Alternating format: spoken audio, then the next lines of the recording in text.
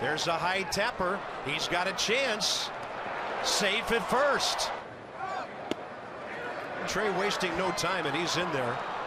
Turner going to third. You look at Trea Turner, he gets on an infield single, steals second, steals third, causing all kinds of havoc here at Dodger Stadium in the first inning. Trea Turner ready to play tonight. Two stolen bases, a base hit, a run scored, one nothing Nats.